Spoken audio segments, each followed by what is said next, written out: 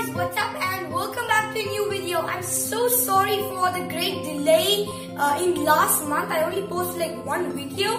Um, but you know, that was because I wasn't that into posting our videos. You know, I lost my, uh, I lost my touch uh, since then. But I am so excited for this video right now because I have just been doing some DIY uh, Harry Potter merchandise making and I've got myself a lot of replica wands, which is pretty. The reason I made these wands was, uh, you know, I've always been a big Harry Potter fan, and I love Harry Potter merchandise, but it is quite expensive. I mean, I really can't afford that stuff. Like, I do have a, um, I have a time turner, and I also have a wand, but unfortunately that wand broke, and I'm, and I'm gonna get a new one. I'm gonna get one new wand and I was thinking to get a, um, I know, Horace Slughorn's one because I just like that, uh, that little uh, snail thingy on the end. But anyways, uh, so I decided I'll make it myself, of course. And um, this is very cheap.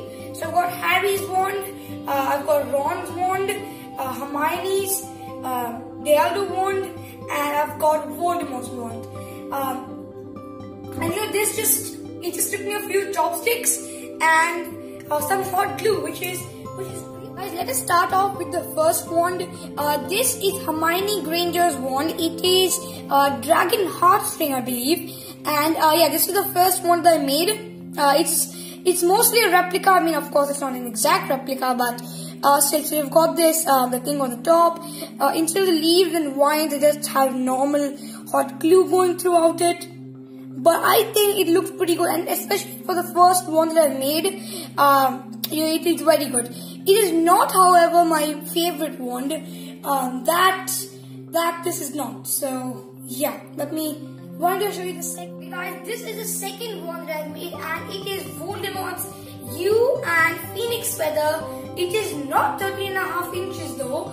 Uh, but I think it's uh, I think it's a pretty good replica uh, so you can see it's actually my favorite wand. Uh, I've painted the chopstick white in color and then I went ahead and made the stand, uh, the handle out of hot glue. And what I did for this part and this part is I took some paper and I just, um, you know, stuck it to the hot glue and that worked as a, um, you know, as like a frame. And then I just went and did some hot glue around that. Uh, for the top edges over here, I made two bubbles of hot glue. That's how it is in the movie and that's how Voldemort's wand is. You know, the two things.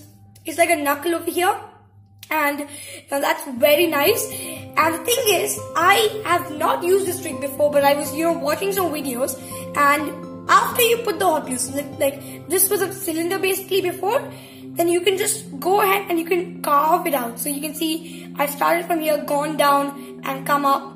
So this is how you uh, you would do it using the hot glue gun. See, let's say, uh, let's say it's hot. Um, then you, what you do is just go like this. And what this will do is uh, that it will melt the glue and you can uh, easily shape it. And uh, you know, I found that trick very useful. And so yeah, and then what I did is I made these um, these dots thingies that Voldemort wand has uh, using a pen and then I painted this. So this is actually a combination of three colors. The top is just plain white. This is white mixed with yellow. And this is white mixed with yellow mixed with orange. Uh, you, know, you can't see it so well in the camera, but it does look, uh, I think it looks pretty good. And it also like, you can easily hold it like how Voldemort holds it. This one guys is Harry's wand. And Harry's wand is, uh, was a little tough to make because of the uh, you know, like the wood texture on the back. But I think I got it pretty good. And I actually own one of these, uh, but, I, but of course broke. Um, now I painted this, of course, brown. And then we have the hot glue. Uh, this I painted a mixture of watercolors and acrylic colors. So this is actually brown watercolor plus brown acrylic color. And that's how it is. And of course, uh, I also have this over here. And I think it is a pretty cool replica. You know, it's not too heavy, but I think I think you know it, it works fine. It works it works great. Like you can do all sorts of spell with it. Lumos. Lumos, Lumos. Okay guys, the next one is Ron's wand. That, that felt weird to say, Ron's wand. Yeah, uh, why don't actually guys uh, go ahead and look up some pictures of these ones and then you can actually compare them to these and make them by yourselves. You know, uh, for me especially it was very uh, good to have like a reference picture while I'm actually doing the hot glue.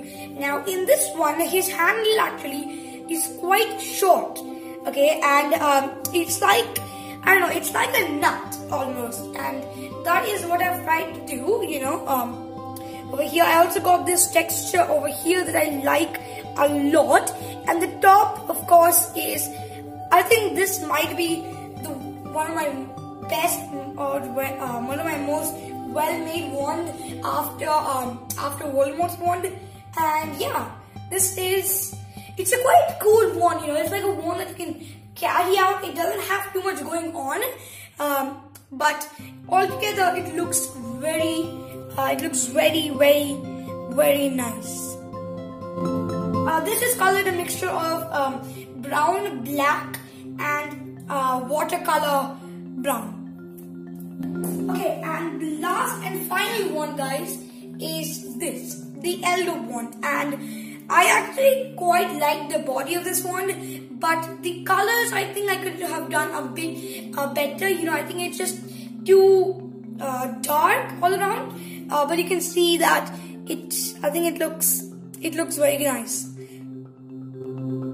Now it also has these uh, these runes over here which were there on the on the original picture. This is my favorite rune. I don't know because it came out the best. This is quite bad and this is fine and stuff like that. But um, yeah, and then this also has this top handle over here. So what this um, you know you basically what you did is I um, I took some hot glue and I kept making layers of circles and every layer it went on I would wait for it to dry and the next layer would be larger than the previous one. I think that shape there is pretty, pretty cool. Uh, the only thing I don't like about the body is this. Uh, this ending over here is way too abrupt. Uh, I might try to fix it in the future. But... Okay guys, apart from wands, I have also made a golden snitch. Uh, and this is basically a thermocol ball. Uh, I marked out uh, the, the places where the hot glue has to go using a black pen and I just traced them out and I think it looks fabulous. It just gives it um, another layer of depth. The wings I decided to do black. I think black looks quite good. I did not have silver nor did I have gold.